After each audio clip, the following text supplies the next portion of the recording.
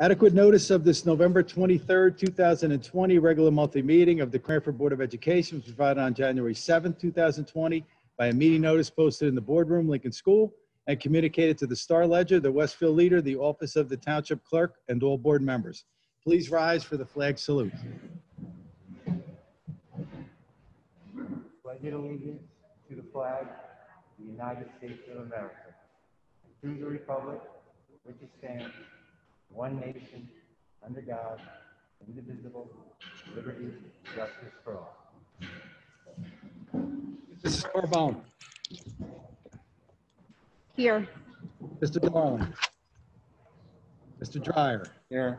Mr. Hulse, Here. Mrs. Kessler, Mrs. Loikett, Here. Mr. Lynch, Here. Mrs. Mallon, Here. Mr. Petcha. Here. We have quorum. Thank you, Bob. Dr. Rubin, I'm going to throw it right over to you. Okay, great. Thank you, uh, Mr. Petchow. Uh, Good evening, everyone. I hope you are, are doing well. Uh, The first thing we're going to do today is, uh, or this evening, is going to actually throw it over to our board liaison over at the high school, uh, Mr. Cameron Madison. So Cameron, how are we doing? I'm doing pretty well. Uh, so at the high school, the Cranford High School girls varsity soccer team actually just won the states, and that was pretty big because they got a police escort through town, so it's very exciting. And then on top of that, uh, students and teachers alike are uh, prepping for the two-week virtual jump. So we're handing out packets and we're just getting ready for that. And on top of that, there's we just ended our first marking period, so we are well into the second, transitioning smoothly. And then seniors are getting ready for their December 1st college application deadline. And that's pretty much the sum of it. Great, great, great. Thank you very much uh, for that uh, update. Uh, Congratulations to uh, Coach Gagliardo uh, and uh, all of the, the coaches and the players and their parents and guardians, and certainly also to the athletic director, Darren Turso, and all of them. Just an amazing job. And I also want to take a second, too, to congratulate Coach Rosemeyer and all of those coaches, the parents, guardians, and of course, the players on a uh, fantastic season. And in fact, uh, some of you might have seen uh, today Monday. These days kind of blend together a little bit, but I think it was uh, yesterday. There was uh, an article in NJ.com uh, entitled uh, "They lost their final game of the season, but just by playing, they still beat COVID." So again, credit to uh, uh, the coaches, the parents, the guardians, and most of all to the players uh, for all of their work and, uh, and perseverance. So again, thank you, uh, Cameron. Uh, We're going to start off this evening, uh, or continue this evening, with a presentation on equity and inclusivity uh, in Cranford Public Schools. And so I've got some uh, folks who are going to join me uh, on the, uh, for the presentation. I'll also share the screen in a second. But we've got Dr. Brian Heineman, our um, Assistant Superintendent for Curriculum and Instruction, Dr. Jennings, our Director of Human Resources, Ms. Gail Colucci, um, our Coordinator of Culture and Climate, Ms. Nikki Savino, uh, teacher, a social studies teacher over at the high school, uh, Mrs. Lisa Burfight uh, in a supportive role as our um, Director of School Counseling, uh, Ms. Kristen Chavan, our Director of Student Services, and of course, uh, we've got Ms. Judy Podbelski. We're going, we, we do have a resolution on later on to accept her resignation. I don't know if we're going to accept it or not, actually, for retirement. We'll see. Uh, but certainly, we're commissioning her uh, this evening to help us with this presentation too. And Judy, uh, as always, we, we greatly appreciate it. All right, let me get this uh, presentation shared. Give me one second here. There we go.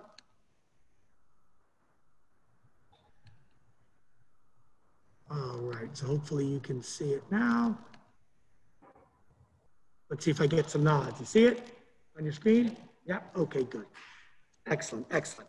So uh, one of the areas that we're focusing on, uh, among many, uh, but one that is uh, in- incredibly uh, important, is working towards a more equitable and inclusive uh, Cranford. And so we want to start off with this quote here from Mahatma Gandhi. Our ability to reach unity in diversity will be the beauty and the test of our civilization. And the Cranford Public School District is absolutely up for that, that test.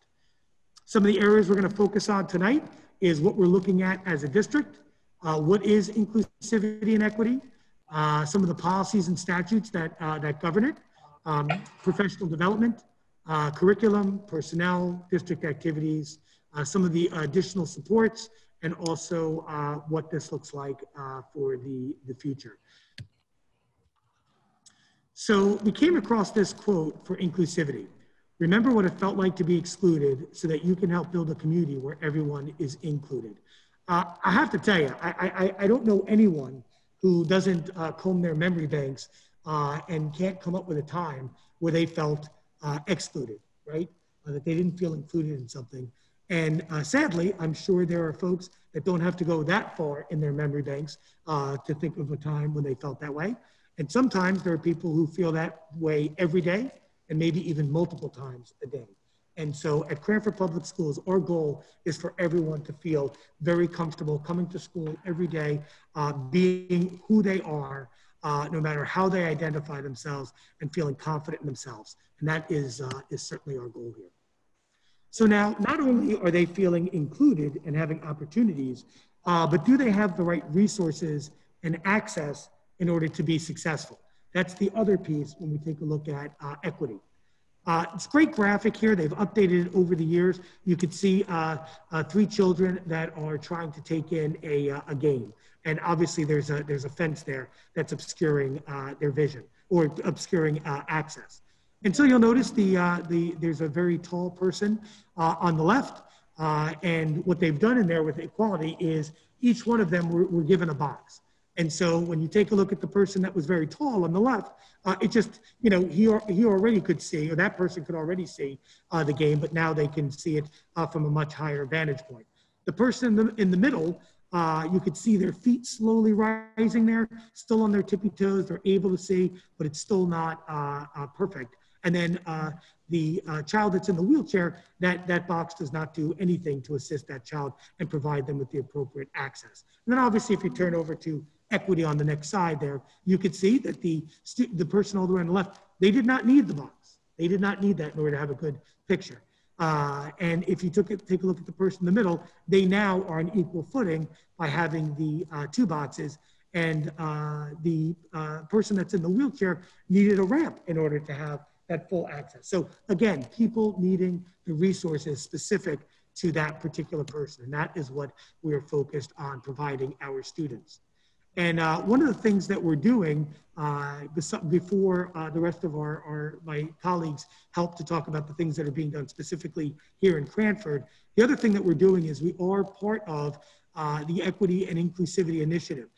That's a town-wide partnership uh, among uh, the school district, the township, the police department, the NAACP, uh, the interfaith clergy, and other additionally concerned citizens. And so we're working together to create a strategic plan for an entire community of which we uh, play a role. And so some of the things that we've been involved with so far uh, is the talk uh, that's still available on TV 35.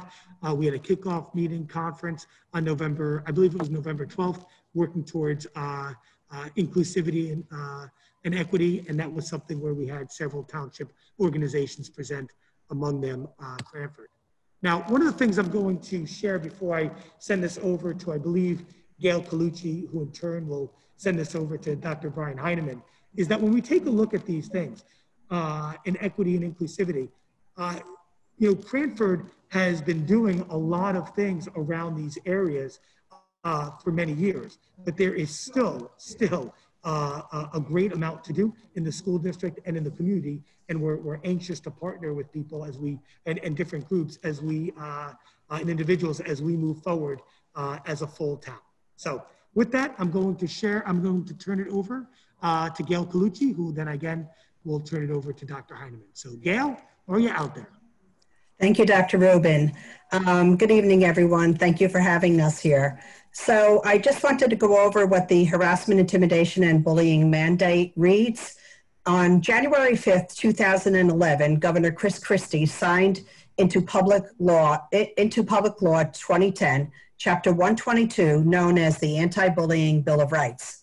This law requires that schools respond to all reports of harassment, intimidation, and bullying, further known as HIB, within strict timelines. Under the law, anti-bullying training, education, and prevention programs are required for all students and staff members. Dr. Heineman is going to now talk to us about other policies and statutes that we have here in Cranford. Great, thank you, Gail. Good evening, everybody. Um, like uh, Gail mentioned, there are some statutes that are um, in policy in the state of New Jersey surrounding curriculum and how it relates uh, to equity inclusivity. And we put three of those here. I'll talk a little later on along with uh, Ms. Podbelski about some of the curricular pieces, but um, these are requirements for all schools in the state of New Jersey. And certainly in Cranford, we don't want to work uh, or, or do anything in minimums. But these are things you should see in all school districts throughout the state. So it's good to see that the state, uh, from a much broader level, is looking at promoting these topics in general. the first one is the uh, Amistad Law, and that is um, a piece of legislation that basically surrounds the issues of the slave trade and slavery in our country and the contributions of uh, Africans to this country. So generally, you will see that included throughout our curriculum. Uh, anytime you talk about U.S. history, and through almost every grade. Obviously, you see these covered in different ways uh, in younger grades than you would in older grades, but this is uh, something that is is embedded in the curriculum. The second one listed on there is the um, uh, Holocaust and genocide legislation, and that is, although it does, of course, cover um, the Holocaust itself, it, it is a much more broad piece of legislation. It does cover all all types of bias and prejudice, um, things that would lead to uh, or that have led to historically to genocides, uh, and and it's a it's a sad, um, an extensive laundry list of genocides that have happened throughout uh, history, and all of those things are pieces of this legislation, and they are of course included once again uh, from the younger grades, talking about just what does it mean to to, to be biased or, or or what prejudice mean, all the way to the um, some of the more challenging topics as they get to the older grades. Uh, the most recent piece of legislation is actually the LGBTQ plus legislation. Um, and so that is very recent and it really is, is pretty broad in what it covers. And it talks about, of course, uh, all, all the people that fall into the LGBTQ uh, IA group, uh, in addition to people with disabilities are included in this legislation. Uh, and it talks similarly to the, to the Amistad law about contributions from that particular group, um, but also uh, embeds in that this kind of as a topic uh, throughout the curriculum K-12. So, oh, we've lost our presentation. I do know that we'll be going next to uh, Kristen. Once, once Good evening. I was going to keep it moving. so, so I'm going to talk briefly about special education. Uh, there are many laws that regulate educating our special education students. The Individuals with Disabilities Education Act and the New Jersey Administrative Code 6A14 include laws that are in place to help level the playing field, so to speak, to our are special education students with accessing their education. The laws are in place to ensure students are educated in the least restrictive environment with the appropriate supports to assist with meeting success. I'm going to pass along now to Dr. Jennings to discuss personnel. Thank you, Ms. Chavan.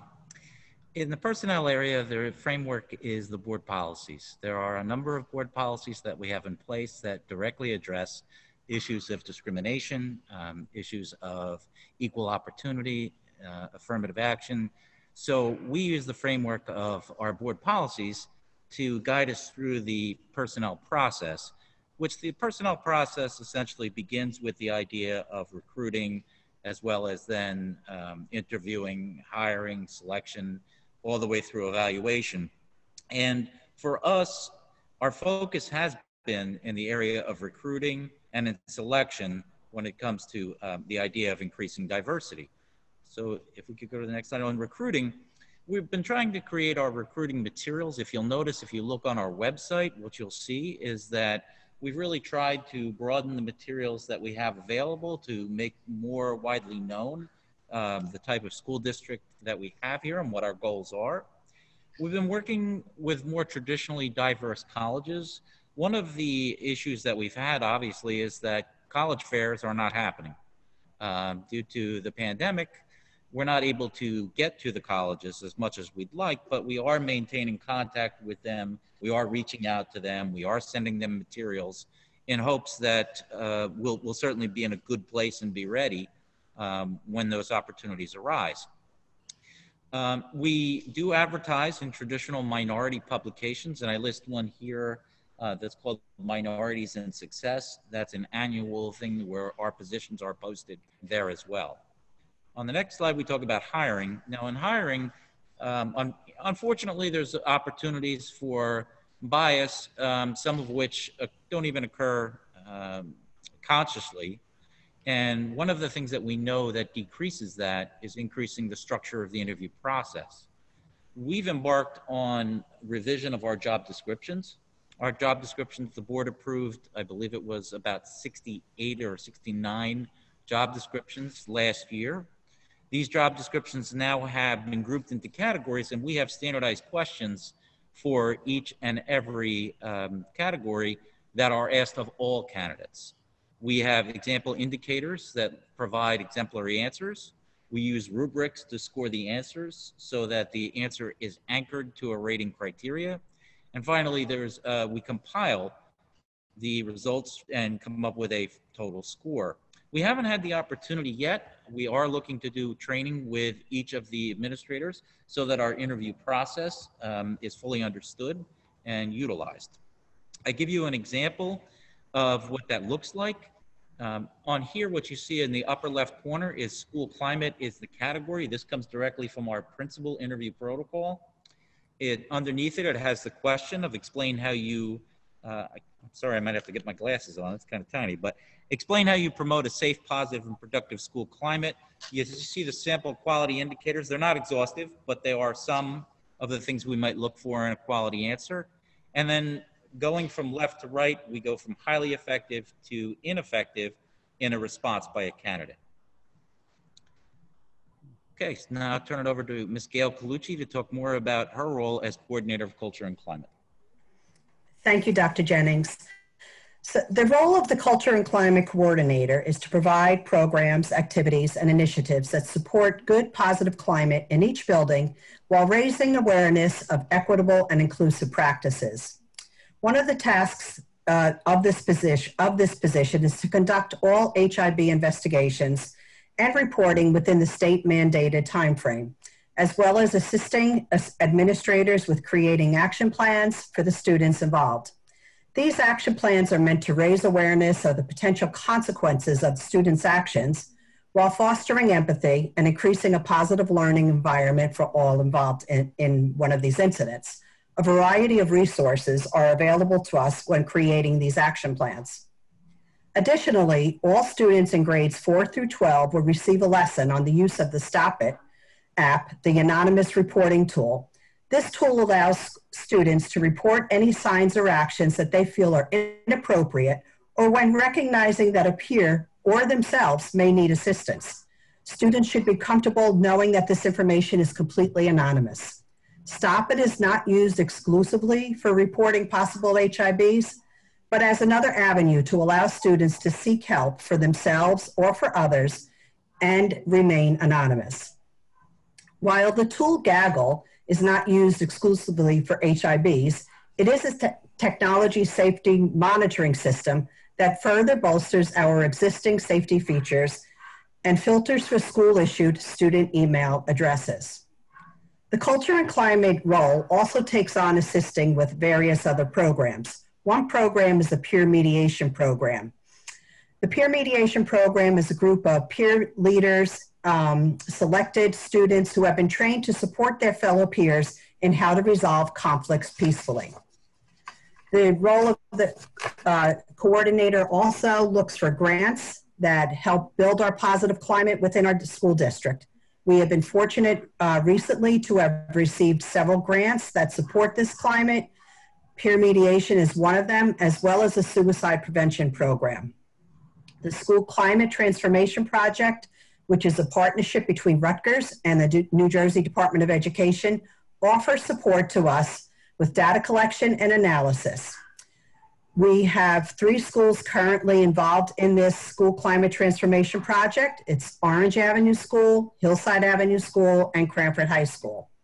Additionally, this year, all of the other schools will take part in a pilot program whereby each school will have access to the state, uh, the New Jersey uh, Department of Education School Climate Survey, and will get assistance in creating an individual action plan for their respective school. Students in grade eight, faculty members, and parents are provided the signs of suicide training each year through the partnership of the Sandy Hook Promise and the New Jersey Department of Education. This program provides the training to spot the signs and symptoms of a student who may be in crisis and teaches the response of the acronym ACT, which stands for Acknowledge, Care, and Tell. Um, next slide, please. Thank you. Additionally, we have quite a few uh, activities that we are involved in. I wanted to just speak to you a little bit about the social emotional learning facilitators. Each school has a designated social emotional learning facilitators. Some schools have two. This staff member works in conjunction with the school's safety and climate team and provides activities, lessons, and initiatives that support the five competencies of social emotional learning throughout the school year.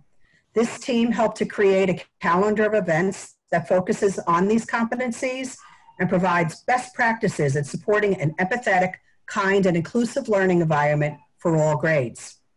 To highlight a few of the programs, we were involved. Uh, we are currently involved in the No Place for Hate Des- No Place for Hate um, program through the Anti Defamation League.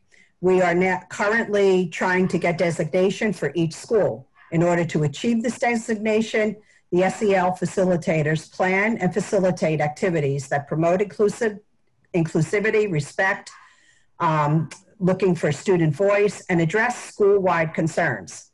During Peace Week or Violence Awareness Week, this year we had daily announcements. These were made to encourage respect. There were bulletin boards with positive messaging, and even a video was created by our Cranford High School students, just to name a few. Parent Academy events are planned throughout the school year that address relevant topics for our parent community. We have had speakers present about suicide awareness, forgiveness, cell phone and social media safety, parenting and the not new normal, mindfulness, and even films that address anxiety and stress related issues.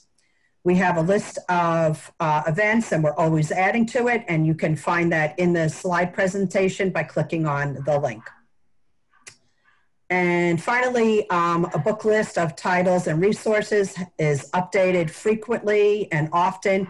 These titles of books um, deal with diversity, social justice, equity, and all things related to social emotional learning.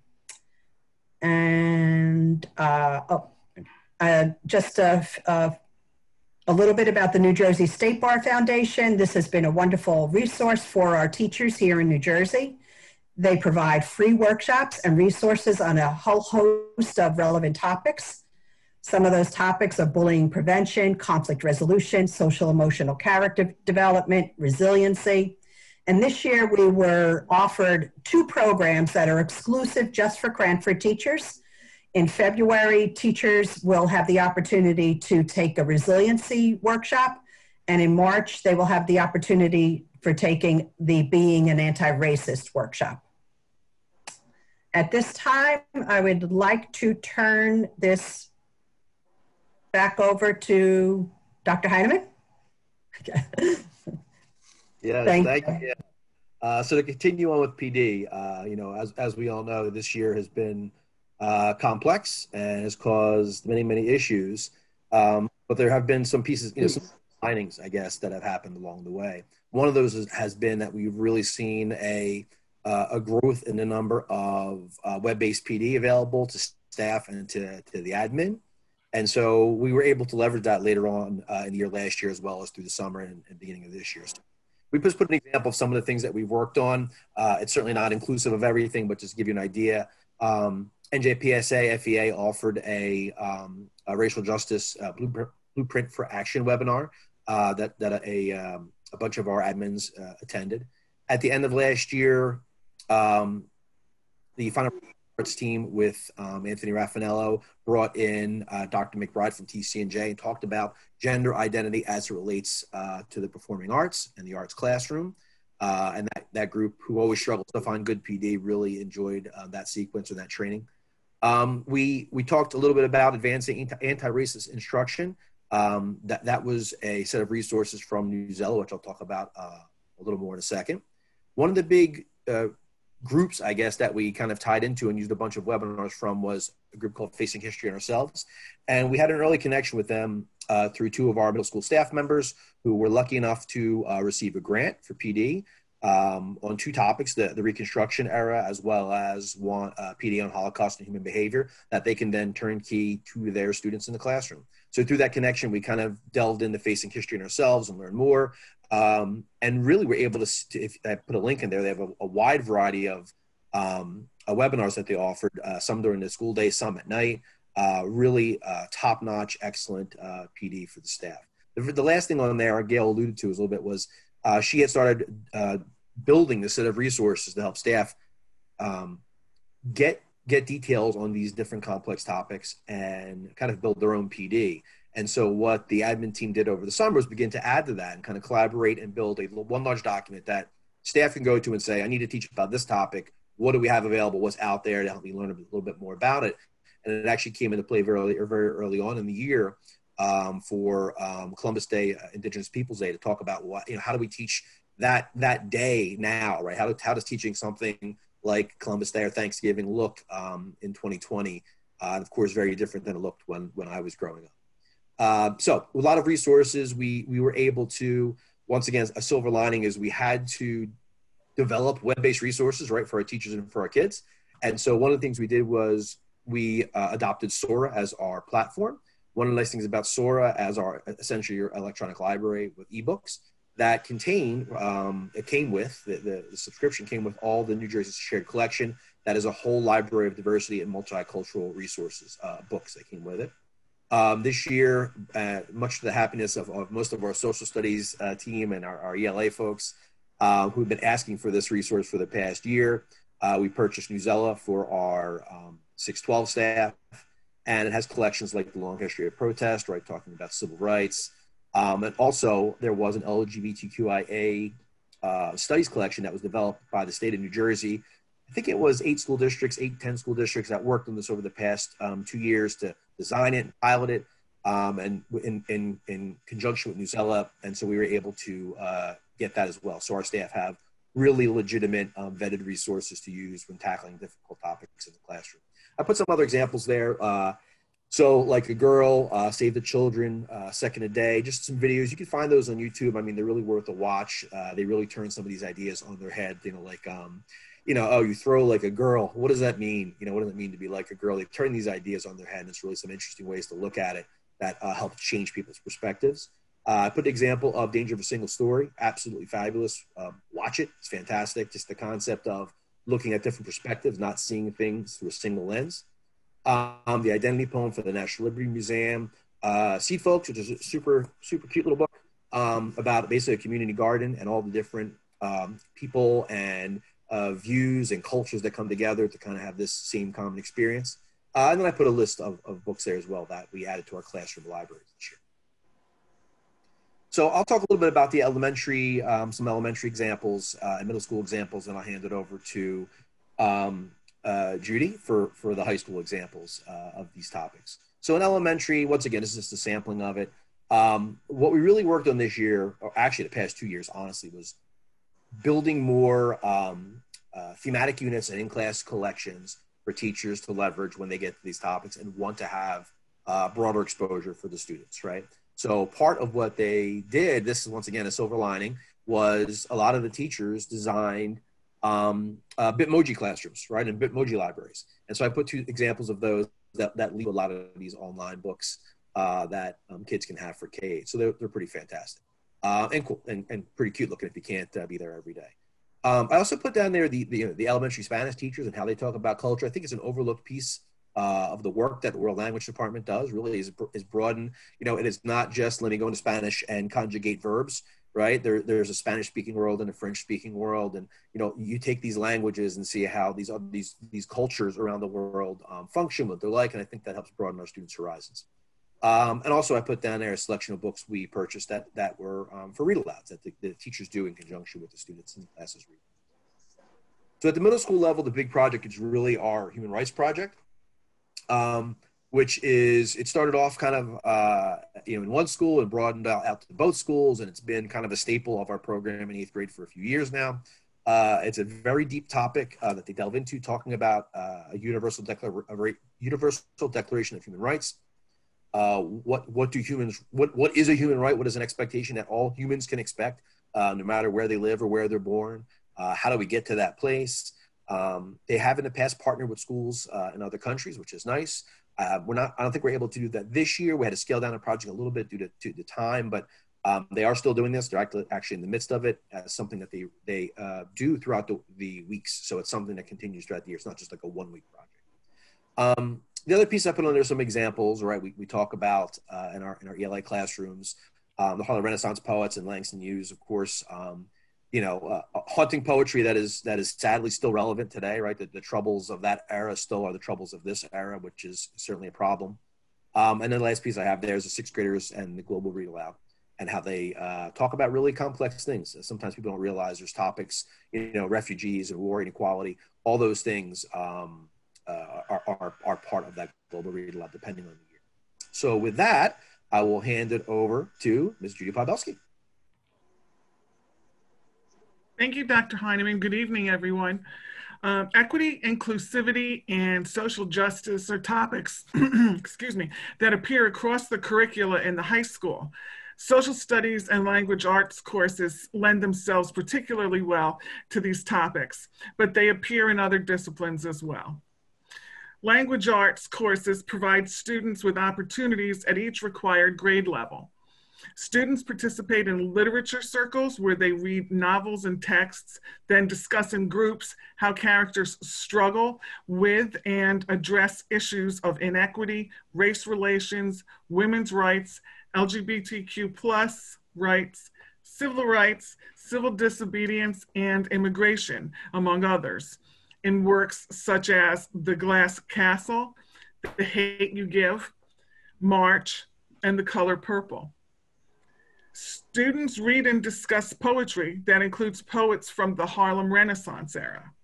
Graphic novels are incorporated into the language arts curriculum to address topics such as the Holocaust, and a senior elective course on the graphic novel focuses on the superhero as a social commentary through the lens of injustice.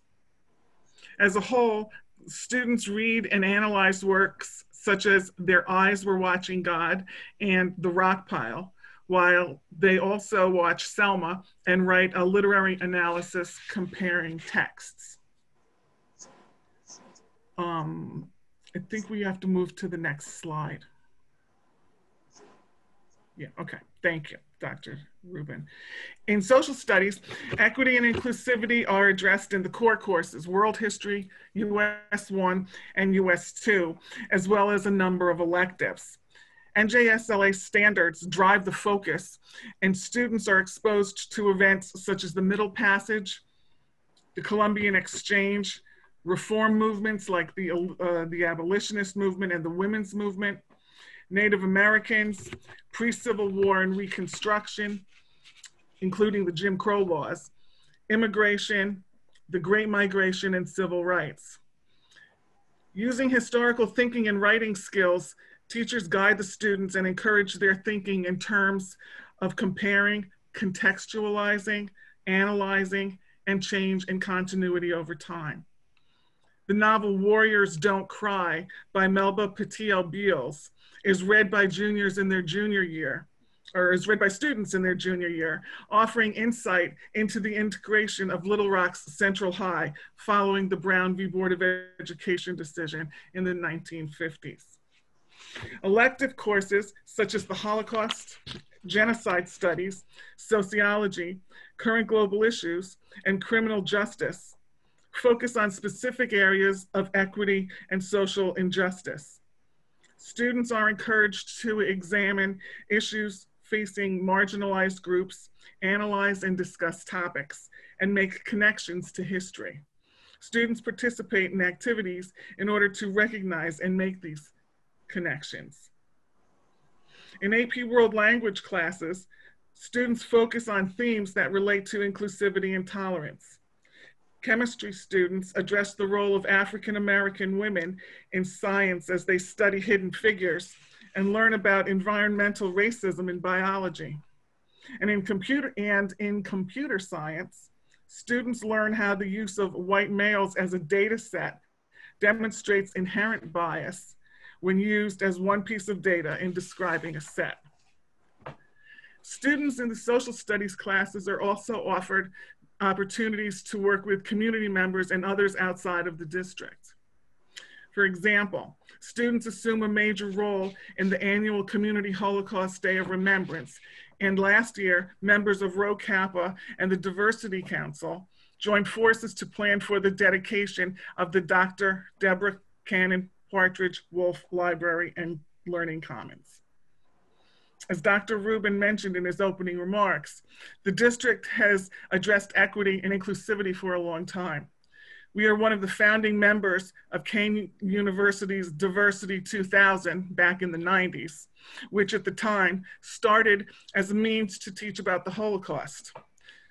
Consequently, Cranford High School was one of the first schools in the state to offer a Holocaust genocide elective.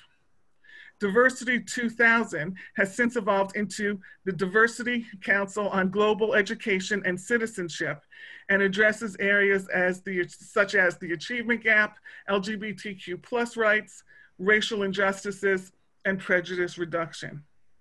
This unique group offers both students and teachers opportunities to participate in workshops and conferences they support visiting scholars who speak to equity and inclusivity and provide a variety of classroom resources for instructional use. Ms. Nicole Savino Mulcahy will speak more about the Diversity Council shortly. However, now I'd like to turn it over again to Ms. Kristen Chavan, who will explain how the Student Services Strategic Plan supports students in terms of equity and, and inclusivity. Thank you, Judy. The Department of Student Services strategic plan encompasses many different aspects of the department. We are looking at compliance and working with our teachers, related services providers, and child study team on our data collection methods and tools to assist with guiding educational recommendations for our students. The plan has a strong focus on inclusivity of our special education students through administrative and teacher training, looking at the Best Buddies and Unified Sports programs, looking at program development at the elementary and high school levels, and building upon our community-based instruction program. Uh, for more details, you can click on the link in the presentation.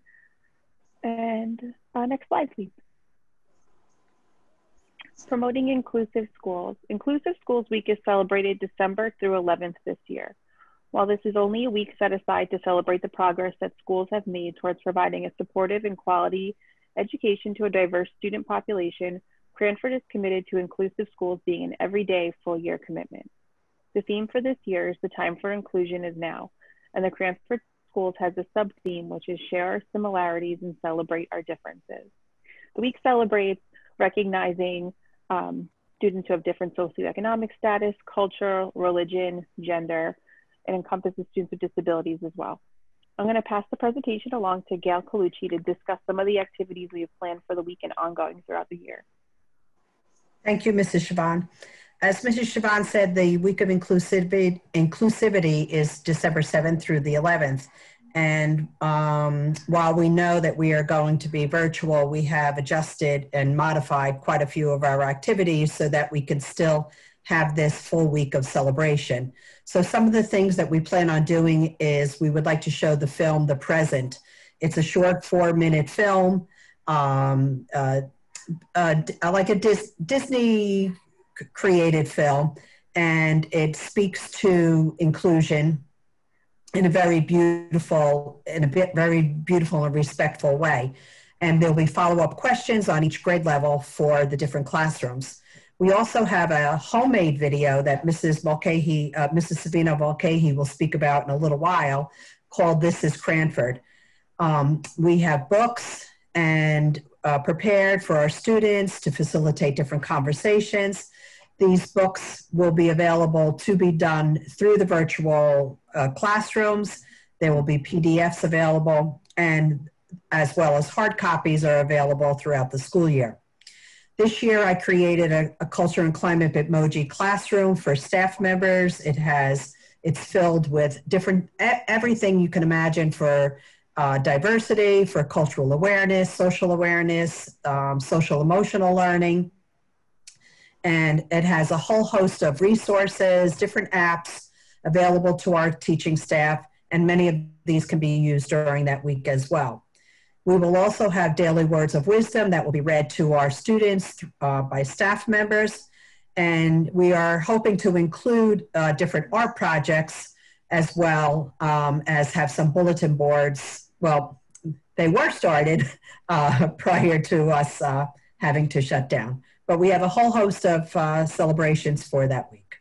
I'd like to now turn it over to um, Nicole Savino Mulcahy. Thank you, Gail. The Cranford Public School District has a long tradition of being at the forefront of working with amazing organizations that work towards social justice, diversity, and inclusion in education. The Diversity Council on Global Education and Citizenship, or Diversity Council, is an example of one such partnership with Cranford and was the founding member in 1990. For 30 years, Cranford has worked with Kean University and schools from across the state of New Jersey to tackle issues educators face in appropriately addressing diversity and inclusivity in our schools. Currently, the council has grown from the original 10 districts in 1990 to 110 school districts throughout New Jersey. I am participating proudly as a Cranford teacher to serve as the member of Diversity Council's executive board for the past 10 years and currently serving as the president of the council at this time. Our mission is to promote messages of respect, understanding, and empowerment. We fulfill our educational mandate in three ways with collections, commemorative events, and teacher training.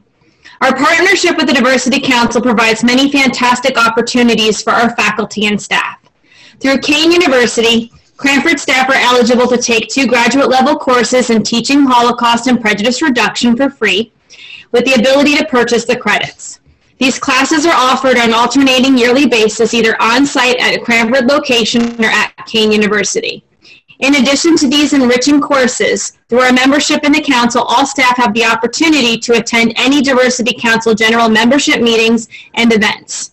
These events are free and focus on topics that provide professional developments in areas such as bias, prejudice, and stereotyping reduction, facing history and ourselves workshops, cross-curricular LGBTQ plus virtual conferences, and lessons regarding upcoming curricular mandates in 2022, understanding IDEA laws in the classroom, and much more.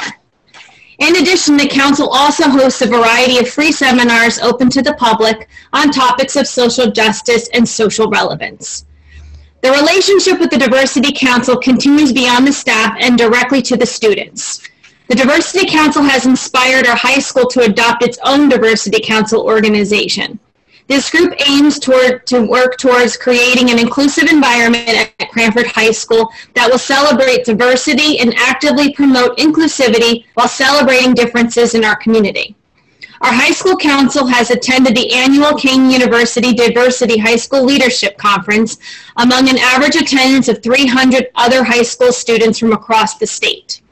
In 2019, we were honored to have one of our own, Alexis Santoro, award- awarded with the Joy Prescott Humanitarian Award for her work in social justice and community service through the Diversity Council and Global Affairs cohort at Cranford High School, a proud moment for CHS.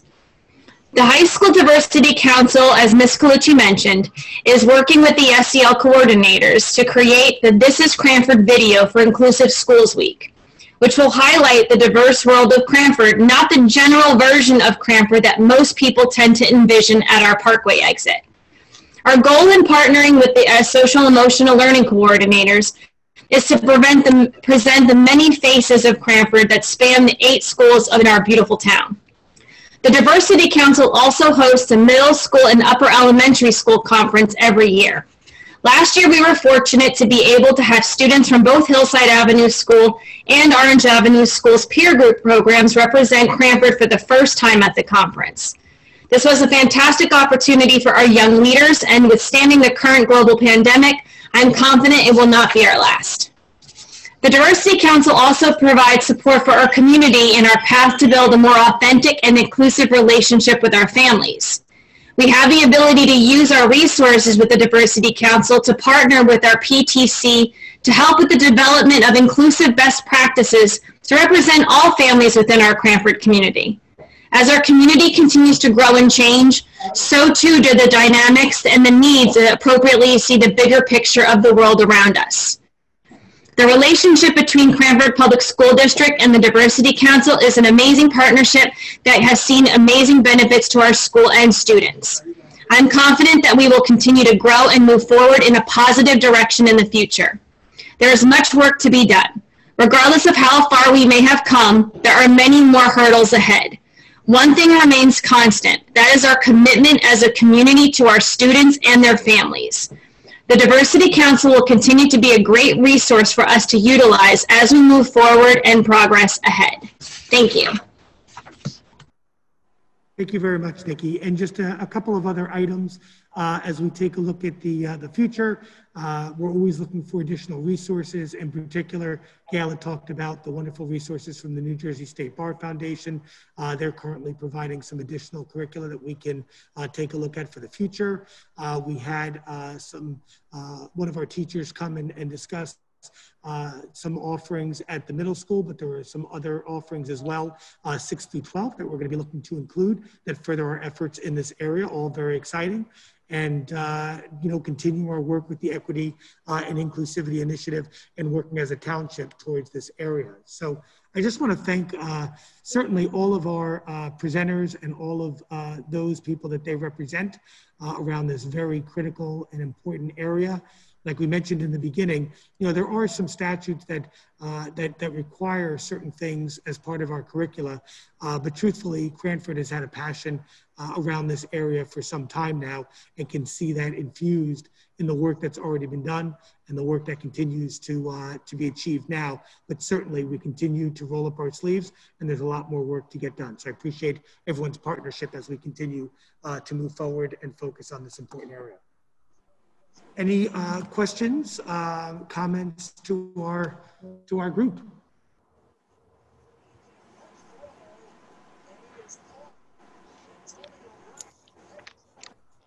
I'd just like to thank everybody um, for your work on this very important topic.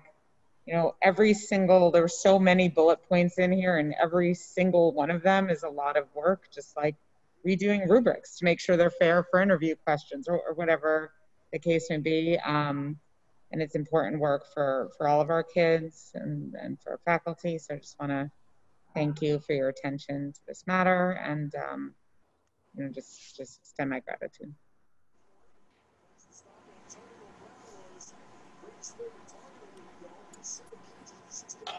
Thank you so much for what you've shown us. Obviously, it's huge for what you're doing in our schools. And as uh, Ms. Kessler said, it's a huge undertaking to be able to collaborate and to get to this point. So we thank you for that. Uh, another piece of that that I would like to talk about is just making parents aware of what's going on in schools because some of us do have those children that actually do nothing all day according to the dinner table conversation. So uh, we appreciate uh, that little glimpse of you know what that book and that backpack really represents and that book on the desk really means behind the cover. So now that we got the ball rolling, we can kind of continue that conversation at home, which is huge, you know? So, and just thank you for reminding our students that we do celebrate their differences because this is a time in their life, in their lives where um, being the same is a, a source of comfort and you kind of taught to just, you know, stay in the lines and I really appreciate everything you've done to show them that we do celebrate differences. So thank you.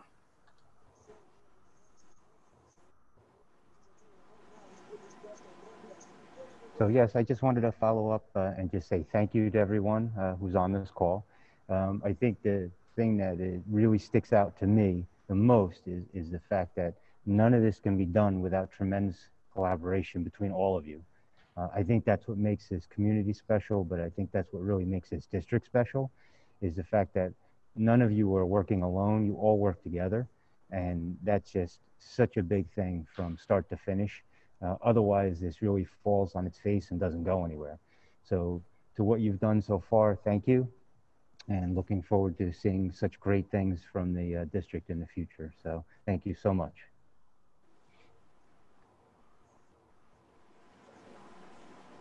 Great, thank you very much. Again, thank you to the uh, to the team. Uh, very nice job. And uh, actually, as we continue to talk about uh, culture and climate and how to create a comfortable environment, one that uh, includes everyone and provides them with the right uh, resources, Lisa Burfine, that goes right into. we do have a, a statutory requirement to do a biannual public report on HIB cases.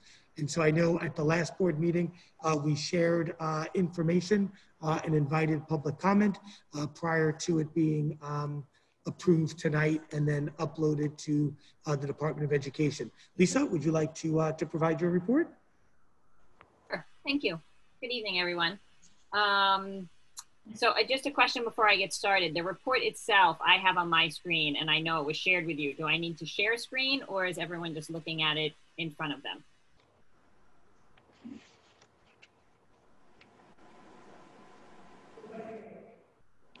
Looks like they have it, Lisa. Okay, terrific. Um, so uh, yeah, this is yes, this is the um, the biannual report of cases and also of the trainings and programmings that we offer here in Cranford.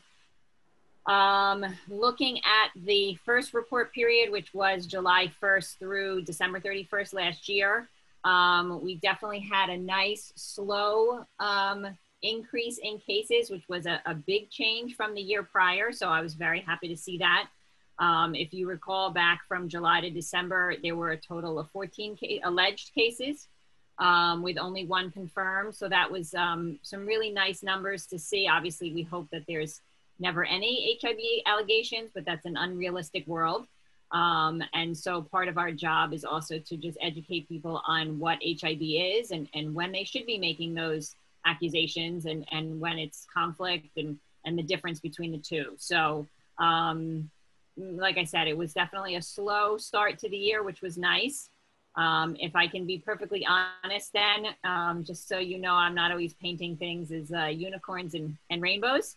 Um, when we came back to school in January, uh, we definitely had a much stronger uptick of HIB al um, allegations. Um, so although that number is only at 16 um, for the second report period from January to June, um, that 16 was really from January to uh, mid March, uh, because once we shut down for COVID, uh, it got very quiet in the HIB world. And we only had um, just about two cases or so that came about when we were on virtual learning. Um, so that definitely was a concern and is a concern. Um, I think some of that can be attributed to, uh, you know, once the kids are inside a lot more and there's less opportunity to get out and be at recess when they're in school. Um, that's sort of why things get ramped up a little bit in January and February because we're spending a lot more time indoors. And so kids have a tendency to get in each other's spaces and in each other's business more than they would when they have an opportunity to sort of air out their, um, their energy um, on the playground um, or at lunchtime.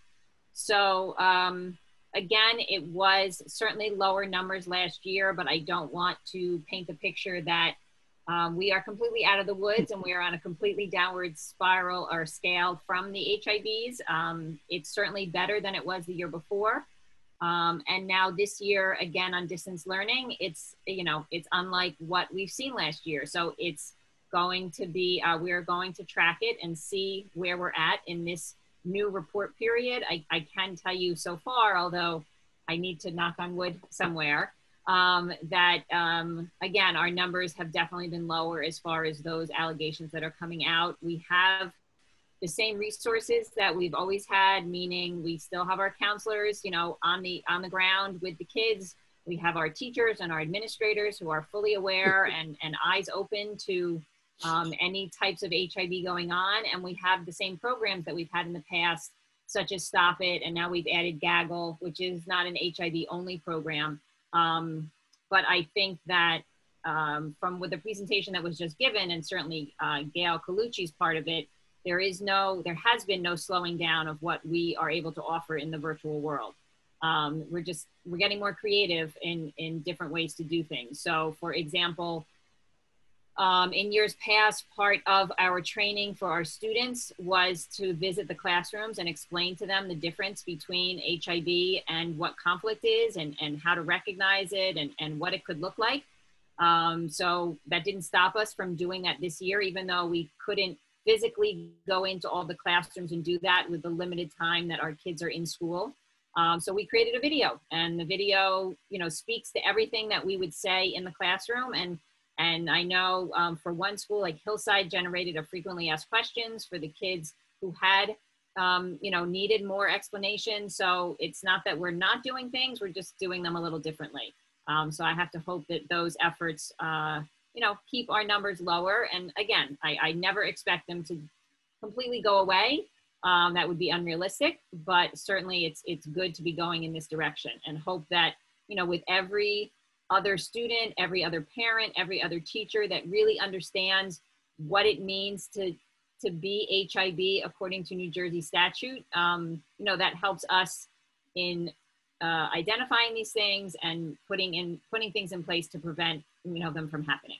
So those are the numbers so far. Um, so that's the first page of the report before I go on to the protected categories. Does anyone have any questions about that piece of it?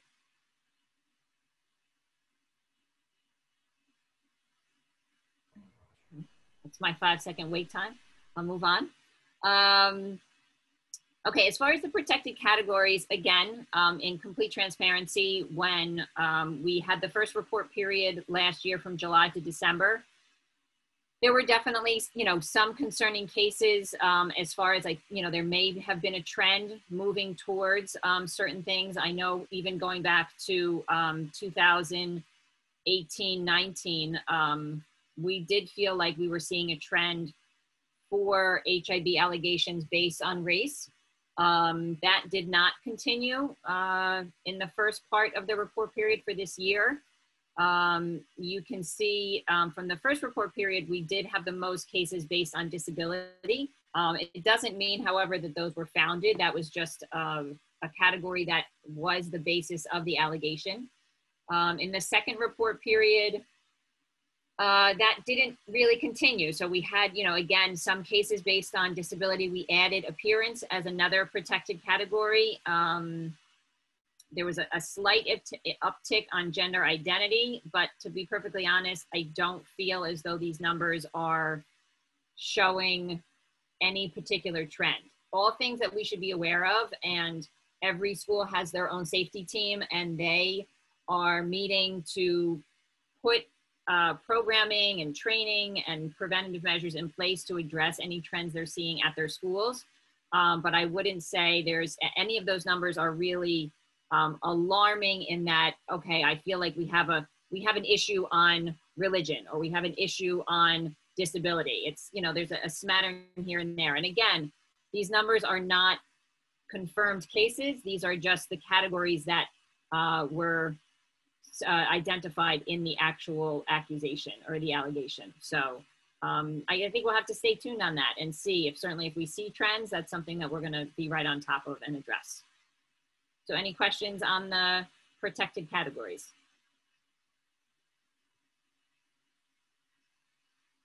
Okay. Um, the rest of the report just speaks to things that we do as preventative measures. And, and, and like I said, I think from listening to, to Gail um, talk about her role as uh, the HIB um, investigator, the, the universal HIB investigator was really a wonderful, it's not wonderful that she needs to do the investigations, but wonderful in that we have one person who has eyes on every investigation.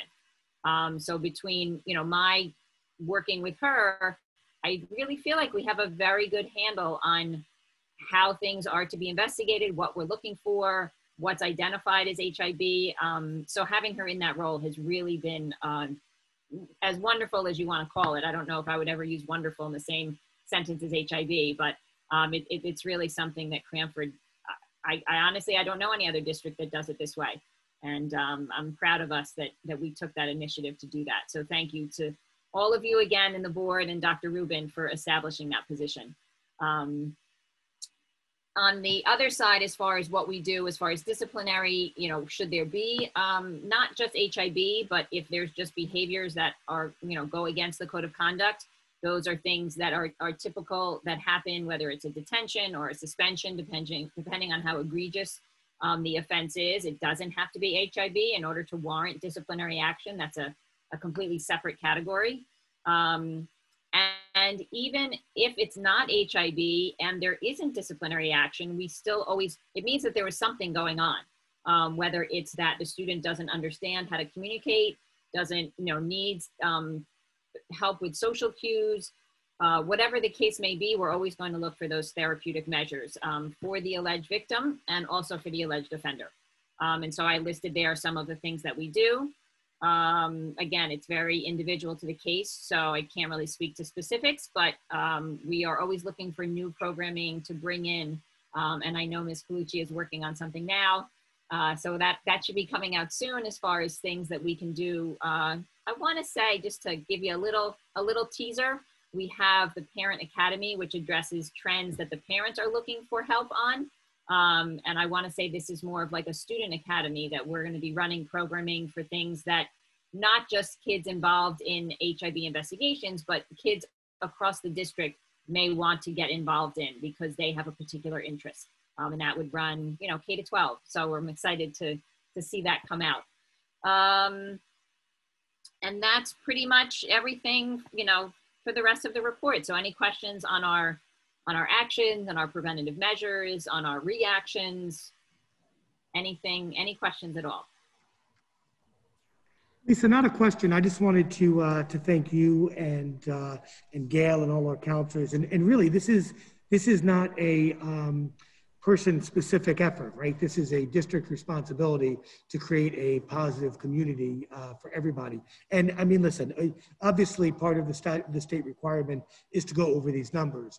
And so, yes, there were there over this whole year, it looks like there were 30 allegations and two confirmed uh, HIBs. But but what, what's important for the community to understand is whether it's HIB or it's not HIB, uh, the district is always going to provide the supports necessary uh, to assist those students. Whether, whether it's an HIB issue, we're going to assist, or whether it's a conflict or something else, uh, you know, we're there to provide uh, assistance. And when we take a look at, I know the page that talks about the, the therapeutic and the disciplinary, we certainly uh, discipline as appropriate.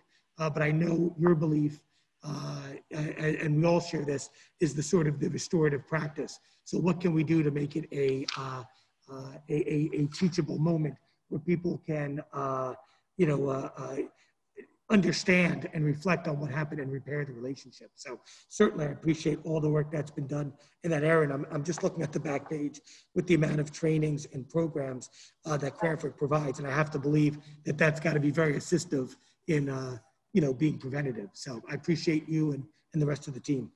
I, I, I didn't scroll down. I did the report and I didn't scroll down to the third page. My apologies. Um, I do I do want to just talk very briefly about the trainings and the programs. Um, they you can see by the numbers in report period one and two. Um, report period one certainly had a lot more programs, um, and I just wanted to explain specifically what qualifies as a program um, according to the NJDOE are all of the assemblies and the wonderful things that we do with our kids. And not that that wasn't happening, but I'm sure you understand that when we went to virtual learning in March, um, you know, all of those wonderful things that we had planned for people to come in and meet with our kids in groups of, of 10 and 20 and 100 and 200, we just, we couldn't do that. So, you know, we are looking for other ways to provide virtual programming, but it's it's hard when you can't do those assemblies. Um, so we're you know we're looking for opportunities and we're looking for things. We're still doing them, but it, the numbers are not going to be quite what they were in the first half of the year. So I'm sorry I left that piece out. Thank you. Anybody have any? Uh, oh, sorry. Yeah, William.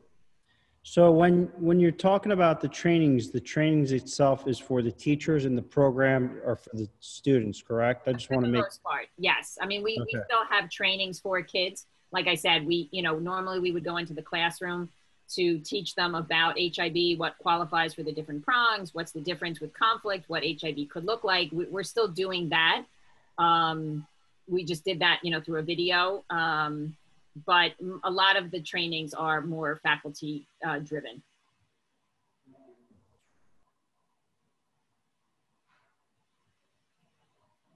Any other uh, questions, comments?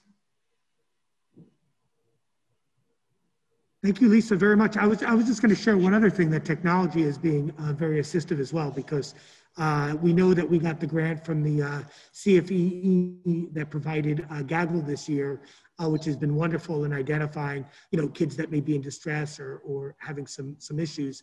Uh, and it, it lets us know uh, through some of the writings or things that it, it, uh, it picks up. Uh, and also uh, HIBster, which is the program that we use to manage harassment, intimidation, bullying concerns.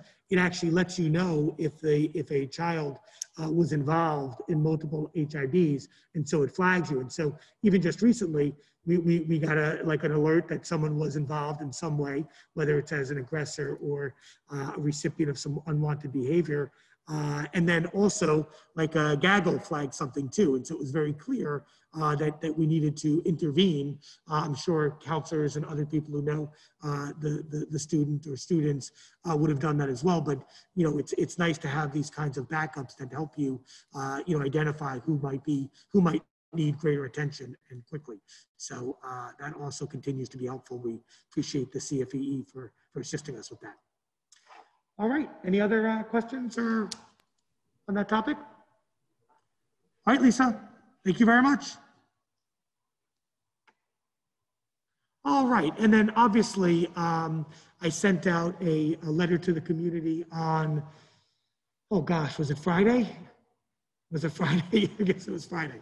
Uh, on Friday, uh, making them aware that we will be transitioning to full remote learning uh, after the Thanksgiving holiday uh, for a couple of weeks, right? So it'll start on Monday, November 30th through uh, Friday, December 11th, and then uh, hope to be back in person on December 14th. That is our plan to continue with our current system of of hybrid instruction, but that obviously is going to be predicated on the circumstances, you know, at the at the time of, of that return. And listen, I, I know this is very disappointing uh, news for uh, for everybody. Um, you know, Cranford was one of the uh, you know few districts that really started right there in September. Had a very good plan. People have executed very well, and uh, we've been we've been very successful. One of the few districts that has um, you know been able to do elementary school uh, pre-K through five every day. I mean, it's, you know, we believe in that and we know how important that is. Uh, at the same time, you know, we can't deny the, the growing trend of numbers uh, and, you know, concerns over the uh, upcoming Thanksgiving uh, Day holiday. I had shared the uh, New Jersey Department of Health uh, COVID-19 activity level reports where it shows our region uh, in the high and in particular very high for the cases.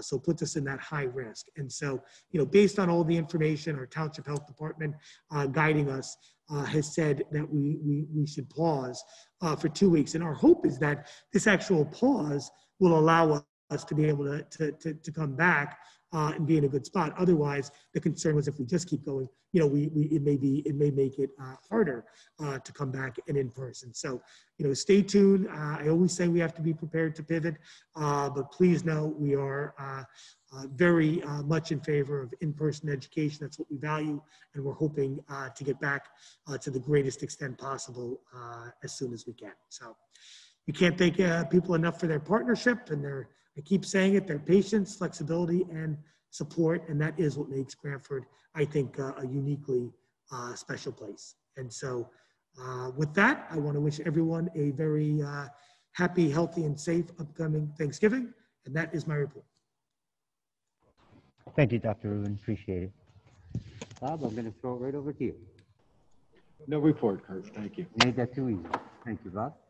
All right, we're going to move on. Does anybody have a communication they would like to share? No good. Okay, Lisa, I know you wanted to share one, please. Yes. Hi. So I wanted to share some thoughts. Hopefully everybody can hear me. Um, I had a recent conversation with my daughter about taking time to celebrate small wins um, as they they add up these small wins. And I think as a society, we often um, don't do this enough. So tonight I wanted to take a moment to thank some groups. um, and I jotted down some thoughts. And I, I think probably the rest of the board would agree with most of these thoughts. First off, um, our students who have shown incredible bravery, flexibility, and determination over the past months. They have been thrown into unfamiliar situations and unfamiliar schedules. Um, some students switch very easily, um, switch gears regardless of their learning situations. Um, but there are many, many other students who struggle with change. And our students have found ways to succeed daily with small wins. Um, they add up, and I think that we can agree how proud we are of our students. Um, also to our staff, and I know in, in several of our recent meetings, we've thanked our staff, but I, I, I don't think we could say it enough. Um, I'm not sure how you could thoroughly prepare for a year like we're currently having. Um, the small wins uh, happen every day and they add up for our staff. Uh, it's incredibly hard to be on the top of your game when you know that things can change at a given moment. And um, yet our staff finds a way to engage and to motivate our students. And um, while they're actually juggling their own personal situations and their own families. So um, I, I think there are no words to express the gratitude that we all have for our staff. And also I'd like to also highlight our administrators. Um, I, I believe that probably our administrators have not slept in eight months, and I don't think that that's even a joke. Um, you've all handled this with grace and unshaken leadership, um, consistently putting our kids and our staff first in every decision that's made from the supervisor's level to uh, our superintendent. And um, especially on the days that you may feel like you're not winning, uh, I believe that you are.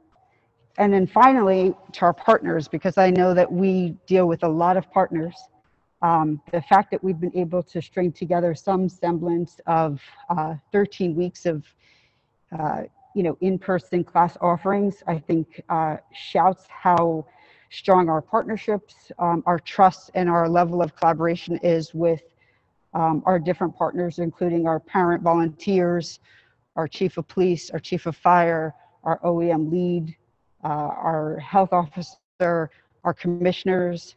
Um, so, you know, I just thank everyone, I, and I, I would believe that the entire board thanks the same. Um, I'm also incredibly proud to be part of the district and incredibly grateful that um, the people who have all worked together have gotten us to this place. So I think um, having three months of you know consistent in-person uh, offerings during a pandemic is is great, and hopefully we continue to push forward through the year. Um, but you know every day we're winning, and I think that we really need to take time to remember that the small wins do add up. That's it. Thank you, Lisa. Very well said and very much appreciated. Does anybody else have any anything they would like to add or say? Go team. That's it. There you go. Thank you, Dr. Rubin. Okay, so we're going to move on and we are up to our first audience participation. If anybody would like to speak uh, via Zoom, um, just either hit the raise your hand button or um, just unmute yourself, please.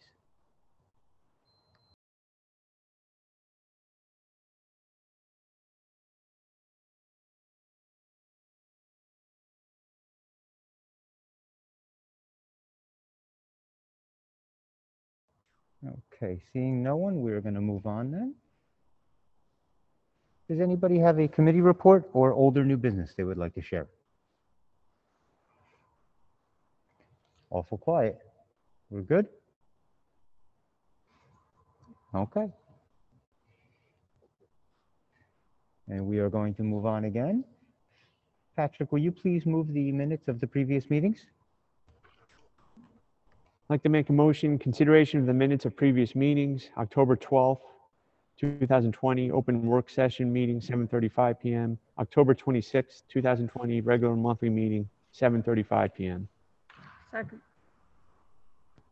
Anybody have any questions or comments on the minutes before we move them? Okay, Bob. Mrs. Carbone, Yes. Mr. Darling, Yes. Mr. Dryer, Yes. Mr. Hulse, Yes. Mrs. Kessler, Yes. Mrs. Loikett, Yes. Mr. Lynch, Yes. Mrs. Mallon, Mr. Petchak. Yes, Motion carried. thank you. Okay, we're going to move on to formal resolutions. Patrick, will you please move resolutions one through six? Sure. I'd like to make a motion, Resolution 1, business items. Resolution 2, approved revised budget statement 2020, 2021. Resolution 3, board secretary's monthly certification budgetary line item status. Resolution 4, non-public school security aid program agreement. Resolution 5, approval of travel expenditures. And Resolution 6, submission of, submission of school self-assessment data. Second.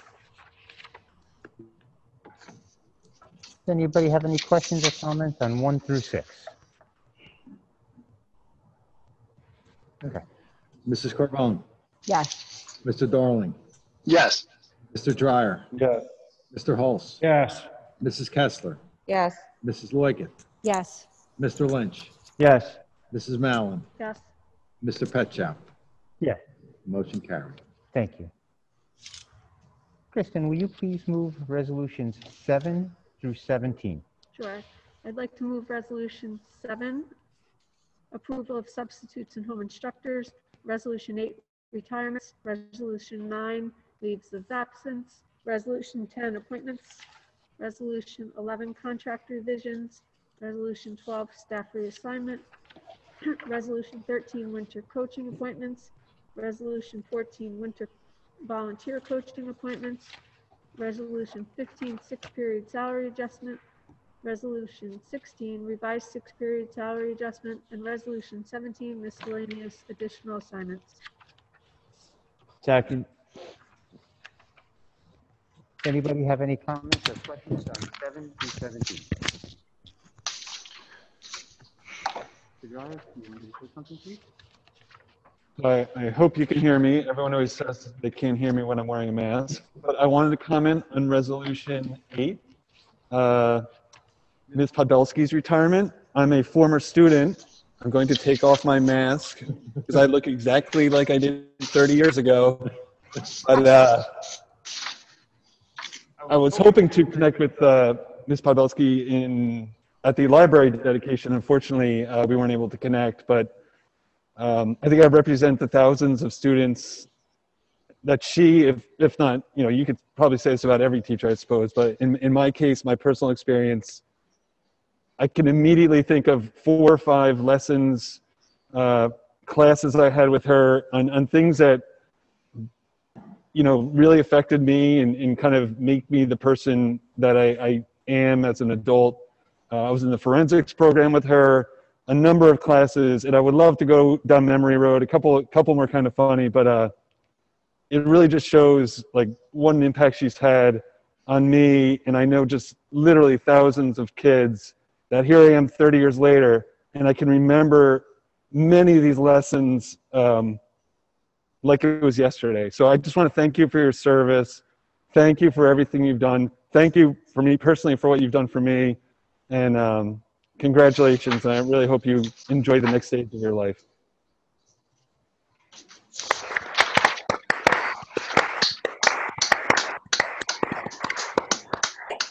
Mr. Dryer, thank you so much. Can I speak? Or may I speak? I'm, I'm getting back into the classroom. I just speak when, when I have to. Mr. Dryer, it's been a pleasure to watch you grow and become a, and I'm, it's just so gratifying to see you as a, a, member of the Board of Education. I've worked, it, has been my pleasure to serve all the students and the parents of Cranford, um, to work with all the teachers and the um, supervisors and administrators and boards of education that I've been through since starting uh, February 1st, 1986. Um, that's third, it'll be 36 years. And um, it's so, like I said, it's so gratifying to see you now living out this, your civic duty that I taught you so many years ago. Absolutely. and uh, I remember like it was yesterday. I, I, agree with you. I remember the kids you hung out with, and um, it's it, we had we had a great class. We and I always had great classes. Um, things have changed a lot since then, um, but it's it, I got a little emotional here. I apologize for that. But there, I can honestly say there's no place that I would rather have been than in Cranford Public Schools these past 36 years of my career. Brett, thank you so much. Thank all the kids. Thank your friends and everything. I love you all. Thank you.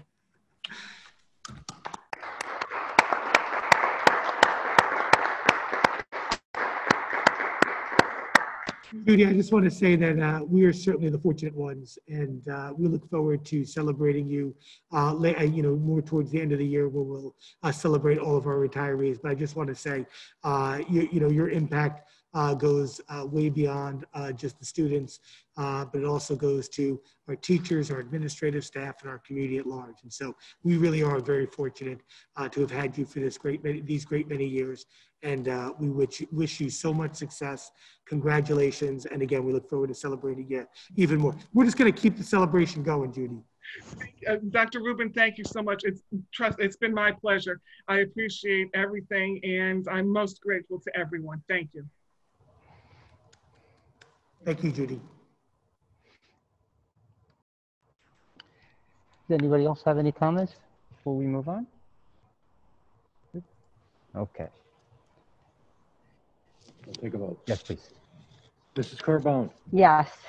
Mr. Darling, Yes. Mr. Dryer, Yes. Mr. Holtz. Yes, abstain from 13. Okay, Mrs. Kessler, Yes. Mrs. Loiken, Yes. Mr. Lynch, Yes. Mrs. Mallon, Mr. Petchow. Yes, Motion carries. thank you. Maria, will you please move resolution number 18? I move Resolution 18 policies for adoption. Second. Anybody have any questions on or comments on resolution number 18? Yes, please. I'd like to make, uh, that we can pull regulation seventy-five ten, there's an issue with that and then on the, rather, it didn't allow it today.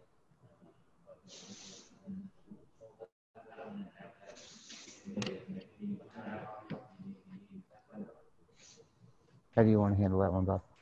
All right. um, Mrs. Loiken, you're okay removing um, Regulation 7510 from your motion? Just motioning the resolution without Regulation 7510? Okay, so I move Resolution 18 without 7510 use of school facilities. Correct. Mr. Holst, you're okay with seconding it like that? Yes. Thank you. We're Good. So Okay. Is there any other questions before we move it? Okay. All right. Miss- Mrs. Carbone, Yes. Mr. Darling, Yes. Mr. Dryer, Yes. Mr. Holst. Yes. Mrs. Kessler, Yes.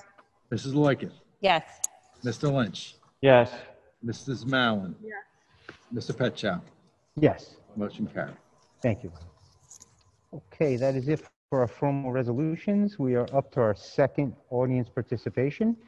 So if anybody would like to speak, you can either raise your hand or just unmute yourself, please.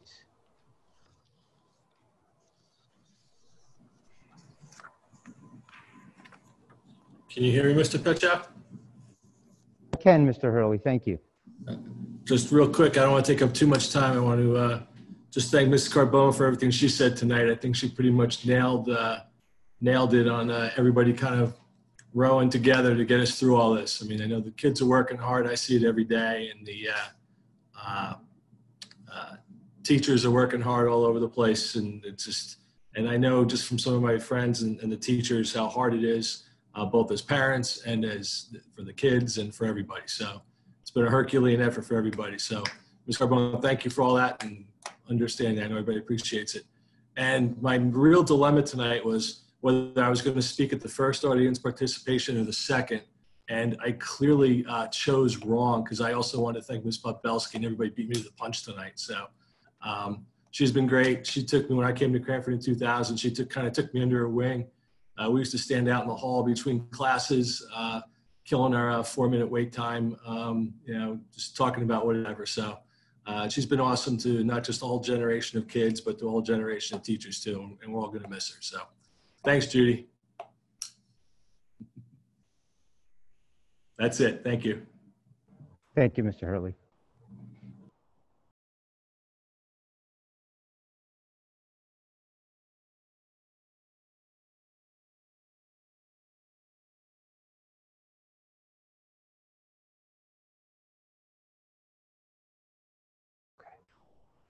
Okay, we do not need a, another executive session, right?